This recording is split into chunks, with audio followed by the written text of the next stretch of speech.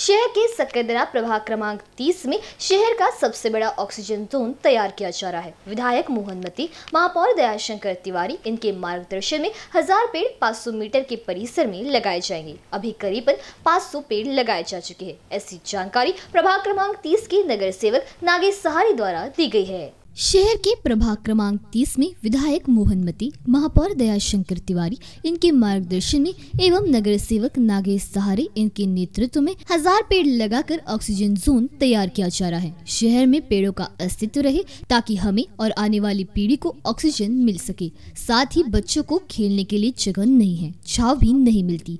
इसे देखते हुए ये ऑक्सीजन जोन तैयार किया जा रहा है। 500 मीटर के परिसर में ये ऑक्सीजन जोन तैयार होना है। अभी तक 500 पौधे लगाए जा चुके हैं। जल्द ही पूरे पौधे यहाँ लग जाएँगे। वृक्षारोपण से अभी जो कोरोना हुआ है ऑक्सीजन नहीं मिलता लोगों को।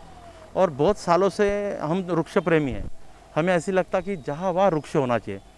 वृक्ष लगेंगे तो अपना एरिया अच्छा होगा ऑक्सीजन मिलेगा अपने को। जगह नहीं है। बच्चा, बच्चों को जगह नहीं रहती। मतलब छाव नहीं मिलती बच्चों को। तो इस परिस्थिति में आज रुक्षा की बहुत आवश्यकता अपने को। और हमारे महापौर है दयाशंकर जी तिवारी। वो उस दिन ऑक्सीजन वैक्सीन सेंटर के लिए आए थे। तो मैंने उनको बताया कि ये परिसर खाली है। तो अपने को यहाँ पे एक झोन बनाना है जहाँ पे लोग घूमें। और तो इन्होंने यहाँ पे हज़ार पेड़ों का हम लोग यहाँ पे प्रोजेक्ट है हमारा।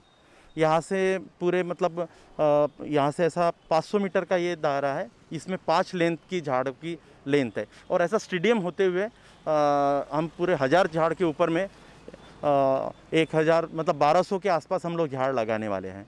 इसमें बैरिटिंग बैरिकेटिंग वगैरह किया हुआ है और एक ऑक्सीजन पूरा जोन बना रहे हैं हम लोग यहाँ पे। ऑक्सीजन देने वाले पेड़ों को ही यहाँ लगाया गया है। साथ ही यहाँ वॉकिंग के लिए दो साल बाद फुटपाथ लगाए जाएँगे, ताकि पेड़ों की छाव में लोग वॉक कर सकेंगे। कैमरा पर्सन माइकल के साथ क्षितिजा देशमुख पी न्यूज़ नागपुर।